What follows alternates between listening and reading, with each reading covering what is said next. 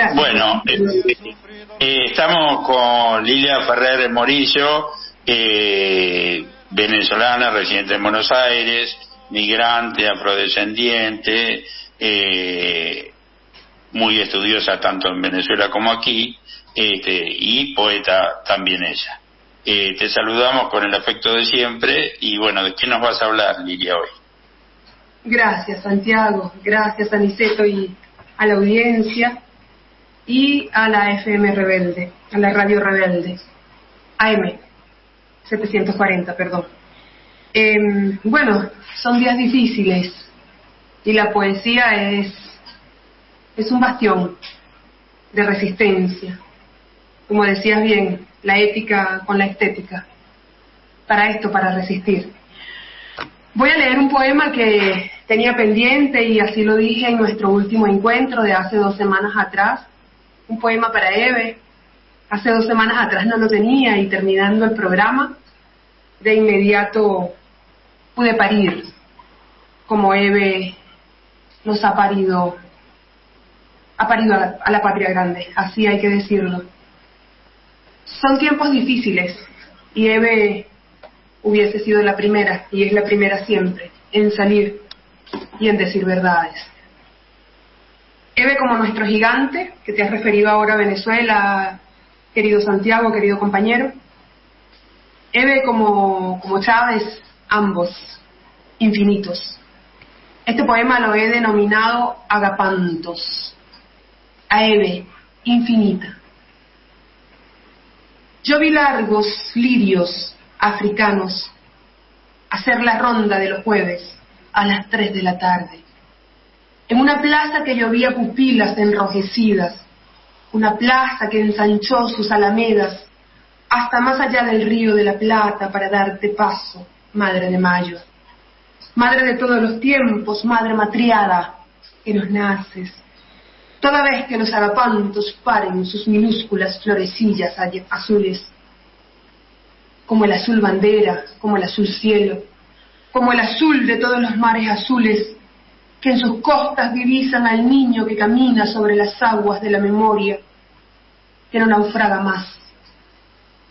Yo vi agapantos crecerse en tus cenizas y nacer floridos, nacer erguidos y nacernos sumergidos en el tallo infinito que del otro lado del riachuelo muralea una ronda a la luna, una ronda de niños, una ronda que es la suma de todas las rondas de, las tres de la tarde que nunca termina. Yo vi agapantos nacer de tus cenizas, ser Félix contigo, Félix renacido, antes de ser cenizas, yo vi agapantos azules cubrir sus cientos de florecillas con pañuelos blancos, atarlos a su largo cuello y ser caminos. Yo vi agapantos hacerse caminos en esta ronda triste que jura ante tu propio juramento rondar, rondar, rondar, ser camino. El lunes, el lunes vamos a rondar. Y quiero leer también, para hacerla corta y hacerla breve. Excelente lo que, lo que produjiste. Gracias, querido compañero Aniceto. Quiero leer, y es muy breve esto que voy a leer, que no es mío.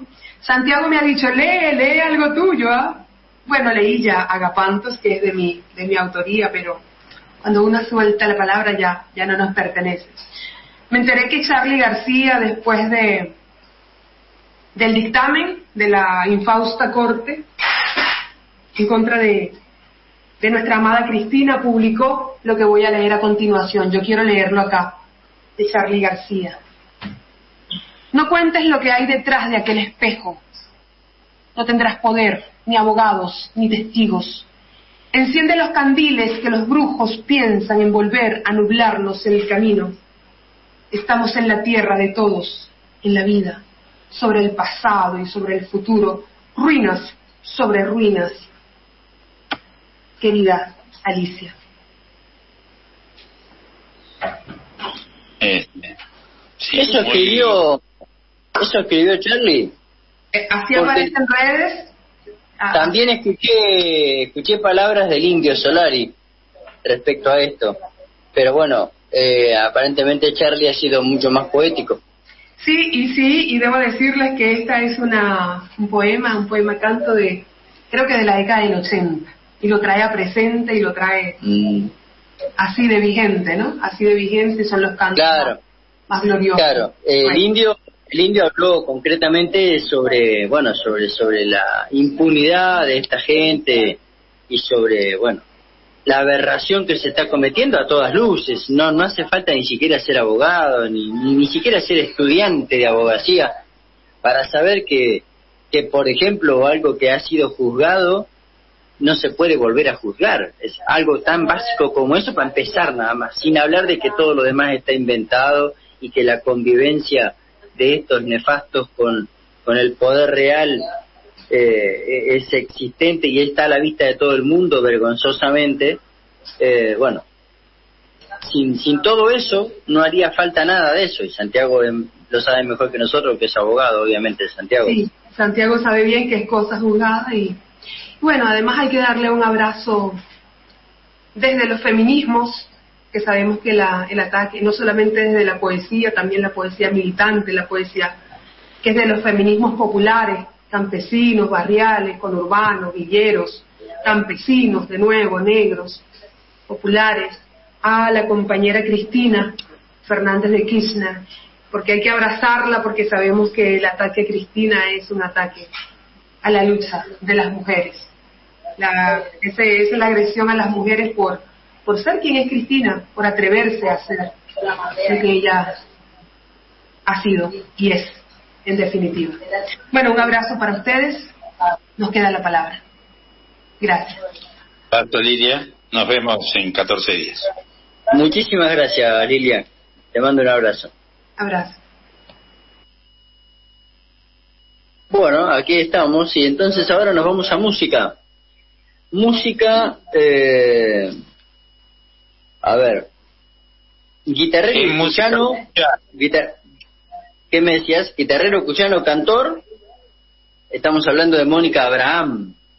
Sí, digo que es eh, música cuyana y lo que vamos a escuchar es una gran cantante, ahora vive mendocina, que ahora vive entre capital y, y conurbano, este, y centralmente son tonadas y por ahí algunas cuecas que son parte de, las, de los ritmos típicos de, Cuyo. La tonada es muy parecida a la samba para, para los que no saben.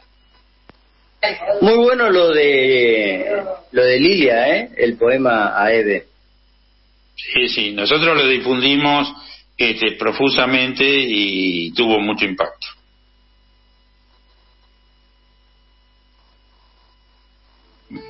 Pasamos al tema. Ahí está.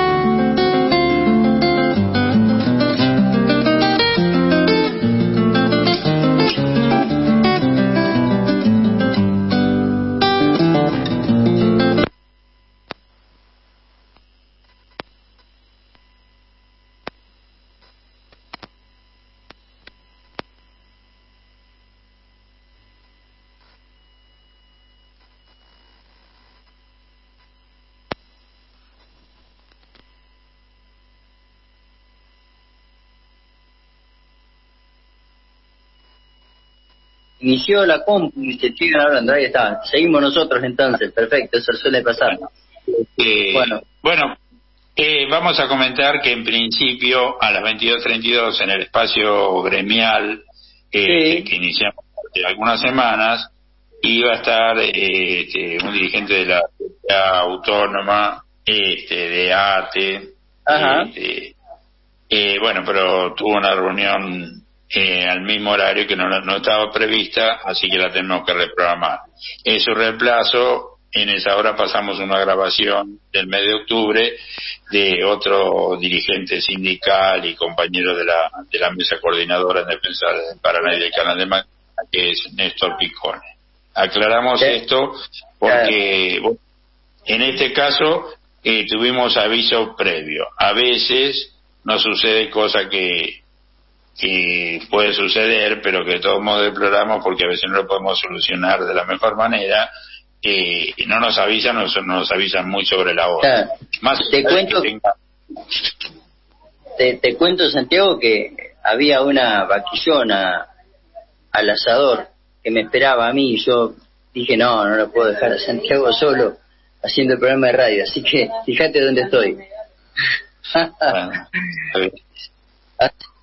así que bueno, eh, y el tema de las marchas, de lo que vos decís, y genial, eh, desgraciadamente no tenemos al pueblo, no tenemos al pueblo. Eh, el otro día, mira, casualmente veía hoy un video de alguien, viste que el, el día de la sentencia eh, se cortó la toda la 9 de julio en frente al Ministerio de, de Acción Social, no sé cómo se llama ahora. Bueno, y le hacen una entrevista a un muchacho que estaba ahí, si iban a marchar por Cristina, si iban... Y primero voy a cobrar, decía el tipo. Así estamos, me parece que es un, es un, es un grave problema.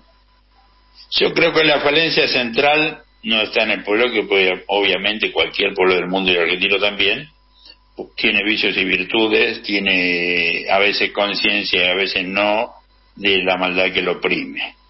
Ahora bien, yo creo que la falencia central es de mucha dirigencia y de la mayoría de las organizaciones, este, porque no dicen las cosas claramente y muchas veces están preocupados por mantener sus cargos o este o conseguir cargos nuevos que este, por luchar en defensa de los intereses de la patria y del pueblo. Eh, ah, en eso, en eso estoy totalmente de acuerdo. Incluso de la más alta dirigencia hasta la propia Cristina, que tantas cosas quedaron pendientes, cuando fue momento de haberlas hecho. Es verdad. Sí, todo el líder, por más que sea un líder brillante, como ha sido Perón o ahora es Cristina, que nadie puede dudar de, su brillantez ni de a veces su coraje, este, bueno, comete errores, este, a veces porque no está rodeada por la por la gente más más útil y conveniente y otras veces por toma decisiones por su cuenta. Este, haber designado a Alberto Fernández en 2019, por más que no lo reconozca, fue un grave error político. Este, y eso, por más que argumenten y argumenten todo lo que quieran, este, yo estoy convencidísimo de eso. Este, el, la, haber hecho frente de todos, la idea general no estaba mal, porque era aglutinar para ganarle el macrismo. Ahora bien, no se, no bastaba con ganar el macrismo, o tenés que establecer un régimen diferente, no digo diametralmente opuesto, pero claramente diferente. Este, bueno, y esto no sucedió y hay responsabilidad compartida. Bueno, pero ahí, ahí, en ese mismo sentido, tenés que trasladarte al 2015. También, el candidato que pusimos no dictaba mucho. Pero, por ejemplo, a mí me preocupa si se va a elecciones de cualquier manera, cualquier candidato más allá de que sea buena gente, inteligente, lo que sea, pero que es un seguro derrotado. Eso no me parece que tenga este, eh, mayor sentido. El peronismo en su historia eh, tuvo el, voto en blanco este, en las elecciones del 63, que yo recuerde. Y nunca he escuchado a nadie que lo haya planteado como que ese fue un error político. Formaba parte de la estrategia, eso no definía la guerra, ni mucho menos la resistencia, ni mucho menos, pero era un modo de, de, de cómo es, eh, de ponerse claramente en las antípodas de los enemigos. Si los enemigos te consideran enemigos, ¿vos por qué lo tenés que considerar como adversario o como... Es una pregunta que ya ahí mismo, lo, por lo menos no sé si le das entrada ahora, pero ya lo, ya lo está escuchando Tomás, que está ahí, lo tenemos en, el, en, el, en el living. ¿Vos lo plantearías como una posibilidad del voto blanco? Porque candidato no tenemos nadie, absolutamente nadie, no existe nadie mucho menos Cristina eh, abrirse. La decisión tiene que ser tomada entre todos eh, y bien debatida, pero no me parecería una alternativa descartable. Bueno, yo pienso que pasemos al, al espacio institucional y después arrancamos con eh, con Tomás. Con, Tomás, ahí está. Nos vamos a... Perfecto como siempre. yo no, no quiero ni pensar cómo está Tomás. Así que nos vamos al institucional y volvemos.